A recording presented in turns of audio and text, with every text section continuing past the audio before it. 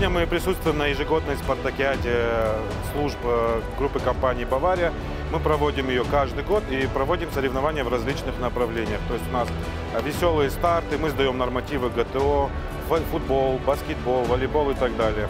По итогам всех этих соревнований мы выявляем команду победителя из служб нашей компании, которой достается переходящий кубок. В прошлом году команда была победитель службы логистов, называлась «Чемпионы», оказались в итоге чемпионами.